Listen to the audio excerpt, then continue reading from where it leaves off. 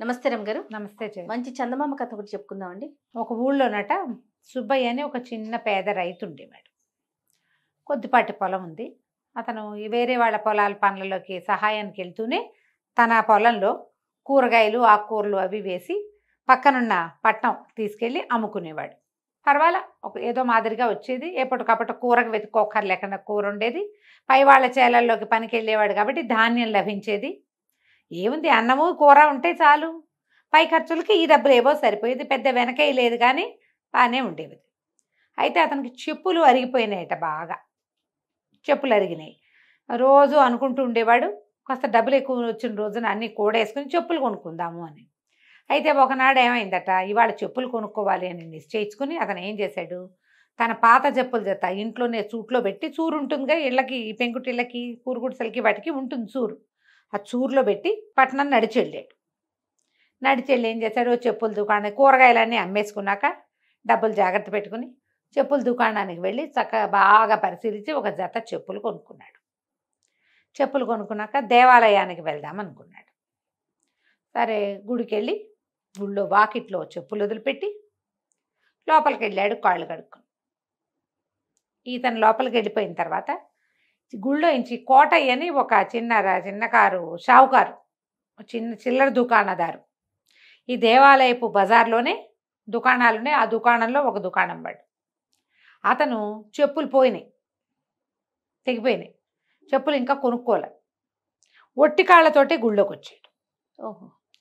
ఎప్పుడైతే మన ఈ సుబ్బయ్య గుళ్ళోకి వెళ్ళాడో గుళ్ళోకి వెళ్ళిన కాసేపటికి కోటయ్య గారు బయటకు వచ్చాడు చూస్తే వాకిట్లో చక్కటి కొత్త చెప్పులు కనపడ్డాయి గుడి వాకిట్లో. ఎంత బాగున్నాయి. అటు ఇటు చూశాడు ఎవ్వరూ కనపడలా. బహుశా ఓనర్ లోపలికి వెళ్ళి ఉంటాడు చల్లగా ఈ చెప్పులు వేసుకెళ్ళిపోదాం. మన ఎవడు పట్టుకుంటాడని ఆ కొత్త చెప్పులు జత వేసుకుని వెళ్ళిపోయాడు. కోటయ్య వెళ్ళిన ఒక రెండు మూడు మూడు నిమిషాలకే సుబ్బయ్య బయటకు వచ్చాడు చూసేసరికి చెప్పులు కనపడలే. ఎవరైనా పొరపాటున వేసుకెళ్ళారంటే ఏమవ్వాలి? అక్కడ ఇంకో జత చెప్పులు ఉండాలి చుట్టుపక్కల. ఎవ్వరూ లేవు చెప్పులే లేవు అక్కడ. అంటే కావాలని. ఒక్క కొత్త జత ఎవరో వేసుకుంటారు తన ప్రాణం చివుక్కుమంది చచ్చి చెడి రూపాయి రూపాయి పావలా పావలా అర్ధ రూపాయి అర్ధ రూపాయి పోగు చేసుకుని ఆ తెగిపోయిన చెప్పులతోటి అట్లాగే అరిగిపోయిన చెప్పులతో తిరిగి కొత్త జత కొనుక్కుంటే పోవటం ఏమిటి అది కూడా దేవాలయంలో పోవటం ఏమిటి దేవుడి దగ్గర దొంగతనమా? ఎవరు ఈ చెప్పులు వేసుకెళ్ళిందని అటు ఇటు గబగబా చూస్తే తన ముందు నడిచి వెళ్తున్న మనిషి కనపడ్డాడు. దూరంగా ఒక మనిషి నడుస్తూ. మగ మనిషి ఈయన గబగబా ఆయన తాపీగా నడుచుకుంటూ పోతున్నాడు కోటయ్య. ఈ సుబ్బయ్య పల్లెటూరు వాడు పని మంది వ్యవసాయ పనులు చేసేవాడు విసురు వేరే ఉంటుంది కదా. నాలుగు అంగాల్లో ఆ మనిషిని చేరుకున్నాడు. చేరుకుని చూస్తే వెనక నుంచి చూస్తే తన చెప్పుల్లాగానే కనపడుతున్నాయి. కొత్త జతగా కనిపిస్తున్నాయి. చెప్పులు కొత్తవైతే కనపడవు. అంతేగా. సరే ఆయన ఎక్కడికి వెళ్తాడో అని వెనకాలే వెళ్ళాడు. ఆయన దుకాణం బయట చెప్పులు వదిలిపెట్టి కోటయ్య లోపలికి వెళ్ళాడు ఈయన ఏం చేశాడు చెప్పుల దగ్గర నిలబడి బాగా పరిశీలించాడు. ఆ చె కొట్లో కూడా లేక లేక కొనుక్కునే చెప్పులు పైకి కిందకి ఎక్కువ చూస్తారు. చెప్పులు పరిశీలించి ఇవి మానవే అని నిర్ధారించుకున్నాడు. ఊరికే ఏదో కాళ్ళకేసుకుని తీసుకోలే చెప్పు ముందు వెనక చూశాడు. ఇప్పుడు కూడా ముందు వెనక చూసి తనవేనని నిర్ధారించుకున్నాడు. ఆ, ఏమిటాయి అలా చూస్తున్నావు అని ఆ కోటయ్య అడిగాడు. అడిగేసరికల్లా ఆ ఇవి నా చెప్పులండి. తమరు వేసుకొచ్చేసారు నా చెప్పులు నాకు ఇప్పించండి వెళ్ళిపోతానన్నాడు. ఉలిక్కి పడ్డాడు ఈయన కోటయ్య. అయ్యో బాబోయ్! కనిపెట్టేశాడు. కనిపెట్టేశాడు వీడు. ఇప్పుడు తెలిస్తే చుట్టుపక్కల పరువు చెప్పులు. దొంగతనం చేశామని పరుగు పోతుంది. జనక ఎట్లా ఉంటుందంటే చేసేస్తారు.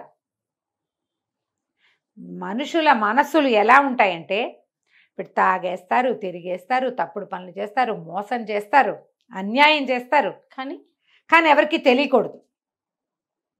తెలిస్తే పరుగు పోతుంది. పరుగు పోయే పని అసలు చేయటం ఎందుకు? అంతేగా. ఇప్పుడు చిన్నపిల్లలు అనుకోజయ్య తెలియదు వాళ్ళకి. అవును.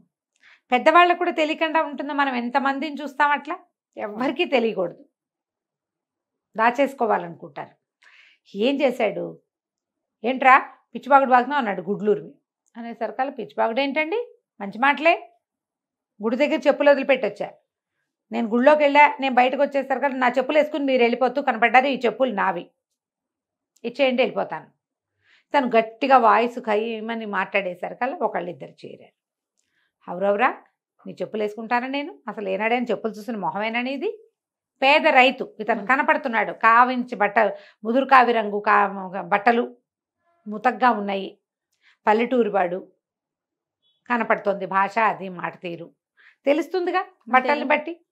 దాంతో తిరగబడిపోయాడు. ఒక ఇద్దరు ముగ్గురు చేరారు చుట్టుపక్కల కొడ వాళ్ళు ఏమిట్రా కొటయా ఏమిటి గొడవ? అంటే వీడెవడో వచ్చి నా చెప్పులు అన్నాడు నేను చెప్పులు కొత్తగా కొనుక్కున్నాను. వాదన పెరిగింది. చుట్టుపక్కల వాళ్ళందరూ ఏమంటారు? అతను పనిమాల గుళ్ళోకి వచ్చిన వాడు ఎందుకు నీ వెనకాల వస్తాడు? అంతే అయి ఉంటుంది. నువ్వు పొరపాటు పడ్డావా? అక్కడ ఇంకో జత ఉన్నాయంటే అక్కడ ఏమీ లేవండి. నేను ఒక్క జత నేను ఒక్కడనే లోపలికి వెళ్ళాను. గుళ్ళో ఉన్న వాళ్ళు ఎవరు చెప్పులు వేసుకులేరు లోపల లోపలే ఉన్నారు. బయట అసలు చెప్పులు లేవు. ఈయన బయటకు వచ్చిన వెంటనే నేను నేను వచ్చానండి. నేను చూశాను. ఆయన గుడి దగ్గర నుంచి నడిచి వెళ్తున్నాడు అంటాడు ఇతను. వాదన పెరిగేసరికి చుట్టుపక్కల వాళ్ళు అన్నారు అబ్బాయి ఎంతసేపు మాట్లాడి ఏ చెప్పుల దుకాణంలో కొన్నావో చెప్పు. ఎంత కొన్నావో చెప్పు. అంటే నేను ఎక్కడో కొన్నా. నీకెందుకు చెప్పాలి? అంటాడు. నీకు ఓట్లు ఇచ్చేవాడి పద్ధతి వేరేగా. సగం మందికి అర్థమైంది. గ్యారంటీగా. సగం మంది ఏమనుకుంటారు? కోటయ్య గారు మంచివాడు. చిల్లర దుకాణం ఎప్పటి నుంచో నడుపుతున్నాడు అంత ఖరీదులు కూడా తీసుకోడు. ఎవడో రైతు పాత చెప్పులు వాడి వయసుకున్న చెప్పులు ఈయనకెందుకు? ఆయనకేం లేదా పోదా ఆయన ఎందుకు చేస్తాడు. అని కొంతమంది. మిగిలిన వాళ్ళకి ఈయన ఓటర్ ఇస్తున్నాడు మనిషి. ఓటర్ ఇస్తుంటే తెలుస్తుంది కదా అవతల వాడు. తిరగబడేటప్పుడు అందులో. శౌర్యం లేదు. తిరగబడే దాంట్లో శౌర్యం కాదు తప్పించుకునే తనం కనపడుతోంది. వాళ్ళు ఏమన్నారంటే బాబు ఇక్కడ కాదు గ్రామాధికారి దగ్గరికి వెళ్ళు న్యాయాధికారి ఆయన. అక్కడికి వెళ్తే నీకు తేలుతుంది. ఆయన ఎత్తరకల్ ఇతను అన్నాడు పదండి న్యాయాధికారి దగ్గరికి. నేను కష్టపడి రూపాయి రూపాయి పాల వాళ్ళ కూడబెట్టుకుని కొనుక్కున్నాను. కొత్త చెప్పులు. నేను ఎందుకు వదిలిపెట్టాలి మీకు? అంటాడు అతను. ఈయనేమో నేనే కొనుక్కున్నాను. నీ చెప్పులు నేను ఎందుకు తీసుకోవాలి? నాకు అంత అవసరం ఏముంది నేను పేద రైతును గాను.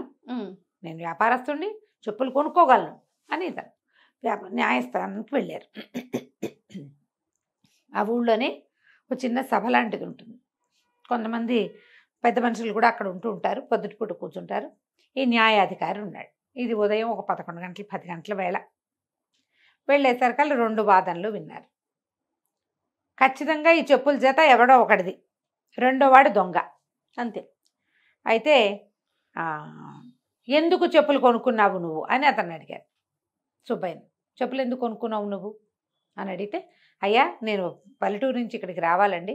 రోజు కూరలు అమ్ముకోవడానికి వస్తాను. మరి నా చెప్పులు అరిగిపోయినాయండి. అరిగిపోయిన చెప్పులు చూపించు ముందు అన్నారు. కోటయ్య గారిని అడిగారు. మీరు ఎందుకు కొన్నారండి చెప్పులు? అంటే నా చెప్పులు కూడా పాత పడిపోయినాయి అందుకే కొనుక్కున్నాను నేను అన్నాడు. అయితే సరే మీ ఇద్దరు మీ పాత పడిపోయిన చెప్పులు చూపించండి అని చెప్పారు. మర్నాడు తీర్పు చెప్తాం అన్నారు. ఆయన వెళ్ళాడింటికి ఇతను వెళ్ళాడు. వెళ్ళాక కోటయ్య గారికి ఏమర్థమైంది ఇది తన పక్షాన అయ్యేలాగా లేదు. పాత చెప్పుల జత చూపించకపోతే వాడు కనుక తెచ్చాడంటే వాడికి దొరికిపోతాం. పరిగెత్తుకుంటూ ఈ కొట్లకి వెనకాలే వాళ్ళ ఇల్లు ఉంది ఇంట్లో అడిగాడు. ఏమే? పాత చెప్పుల జత ఉండాలి కదా ఏం చేసేవే అని. "ఆ, ఎప్పుడో పారేశానండి అని. అప్పటికి పది రోజులైంది. చెప్పులు పారేసింది ఇప్పుడు దొరకవు. ఇప్పుడు పాత చెప్పుల జత చూపించాలి. ఎట్లా? ఎట్లాగా? సరే. న్యాయాధికారి ఏం చేశాడంటే ఒక గ్రామ సేవకుడు ఉంటాడు కదా అతను పిలిచి వీళ్ళిద్దరి మీద కన్నేసి ఉంచండి. నాకైతే ప్రధానంగా కోటయ్య మీదే ఉంది కన్నేసి ఉంచండి అని చెప్పాడు. ఈ కోట ఏం చేశాడు? సుబ్బయ్య దగ్గర కనుక చెప్పులు ఉన్నాయనుకో అరిగిపోయినవి. పక్షం వాడి పక్షాన అయిపోతుంది తీర్పు. అంతేగా అందుకని ఏం చేశాడు? ఆగ మేఘాల మీద పరిగెత్తుకుంటూ వెళ్ళి ఆ సుబ్బయ్య నడిచిపోతున్న దారింటే వెళ్ళాడు. వాళ్ళ ఇంటి దగ్గర దాక్కున్నాడు. దాక్కున్నాడు. ఇంట్లోకి వెళ్ళాక అతను కాళ్ళు చేతులు కడుక్కుని అతను అడిగాడు ఏమే పాత చెప్పులు ఎక్కడ పెట్టావంటే చూరులో పెట్టాను అని. ఆయనేమో చూరు వైపు తలకాయ ఎత్తి చూశాడు. చూరులో చెప్పుల జత కనపడుతోంది. ఇతను ఈయన లోపలికి వెళ్ళాడు పెరట్లోకి వెళ్ళిపోయి స్నానం చేసి కాస్త ఒక ముద్ద అన్నం తిని ఇగో ఇట ఇట అయింది ఇట అయింది ఈ చెప్పుల చేత రేపొద్దున పట్టుకెళ్ళాలి. కొత్త చెప్పులు శుభ్రమైన చెప్పులు కొన్నాను రాజా లాంటి చెప్పులు అవేమో ఇట అయినాయి అంతా గోల అయింది. ఇగో డబ్బులని ఇచ్చి పిచ్చగా అలసిపోయానని ఆయన పంచలో చాపేసి పడుకున్నాడు. అంతసేపు ఊరుకుని ఏసో కోట ఏం చేశాడు? చల్లగా చూరు దాకా నడిచెళ్ళి ఆ చెప్పులు తీసుకుని పరిగెత్తుకుంటూ బయటకు వచ్చేసాడు వచ్చేసరికల్లా ఏం చేశాడు? బాగా ముందుకొచ్చి వచ్చి చిక్కిస చిట్టీత పొదలు అవి ఉంటాయి కదా రక్కిస పొదలు అవి ఉంటాయి ఊళ్ళల్లో. ఇది పట్టణం నుంచి పల్లెటూరు వచ్చే దారిలో చెప్పుల జతని విసిరేసేసాడు ఒక పొదలో. కాస్త ముందుకెళ్ళేసరికల్లా ఎవరో నలుగురు మనుషులు మీద పడి చిత కొట్టారు ఈయన్ని. ఒక ఐదారు దెబ్బలు కొట్టారు. చేతి వేళ్ళకు ఉన్న ఉంగరాలన్నీ లాగేసుకున్నారు.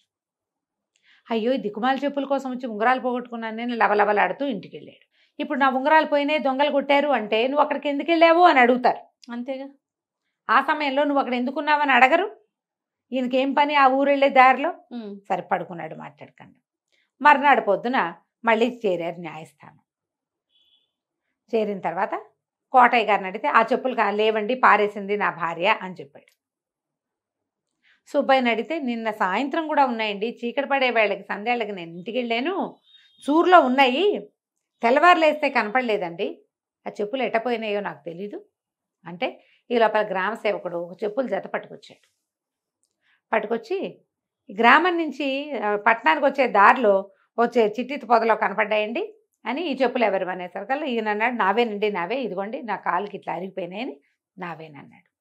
చూర్లో ఉండాల్సిన చెప్పులు ఇక్కడ ఎందుకు ఉన్నాయి ఉమ్, అక్కడి నుంచి గ్రామ సేవకుడు చెప్పాడు ఆ నిన్న సాయంత్రము ఈ చెప్పులు దొరికాయండి. వీటితో పాటు నాలుగు ఉంగరాలు కూడా దొరికాయి. ఈ ఉంగరాలు ఎవరివి? అని ఉంగరాలు చూపించాడు. చూపించేసరికల్లా ఈ శెట్టి గారి చేతికి కోటయ్య శెట్టి గారి చేతులకి ఎప్పుడు షావుకారి చేతికి ఉంగరాలు ఉంటాయి. రామాధికారి అన్నాడు ఏమిటో ఈ కోటయ్య? ఈ చెప్పులు ఈ ఉంగరాలు నీ వల్లే ఉన్నాయి? ఉంగరాలు పోయినాయా నీవి? అన్నాడు.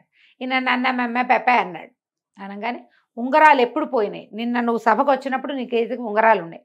ఎట్లా నీ? ఉంగరాలు పొదలోకి ఎట్లా వెళ్ళాయి? మీ ఇల్లు ఎక్కడ? అసలు అతని ఇల్లు ఎక్కడ?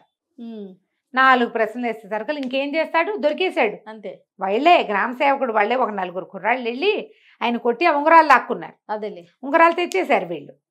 చెప్పులు కూడా పట్టుకొచ్చారు. ఆయన పారేసి చెప్పులు పారేసినట్టు వెనక్కి తెచ్చేశారు. దాంతో ఇంకేం చేస్తాడు కోటయ్య గారు? నోరు గట్టిగా మూసుకుని అతనికి అతను చెప్పులు ఇచ్చేసి న్యాయస్థానానికి తిప్పినందుకు అతనికి జరిమానా అతనికి డబ్బులు ఇచ్చి కేసు పెట్టకుండా ఓకే. న్యాయస్థానానికి జరిమానా కట్టి ఏమిటి? కోర్టు వారి సమయం వృధా చేసినందుకు శాశ్వతంగా చెప్పులు దొంగ అని పేరు మాత్రం తెచ్చుకున్నాడు. మొదట ఏదో యథాలాపంగా వేసుకొచ్చానో అయ్యో నీ చెప్పులా అంటే సరిపోయేది. మొదటే మనం ఒప్పుకొని చూడు. అవును. కదా? ఒప్పుకోపోవటం వల్ల ఇంత గ్రంథం నడిచింది. బాగుంది కదా?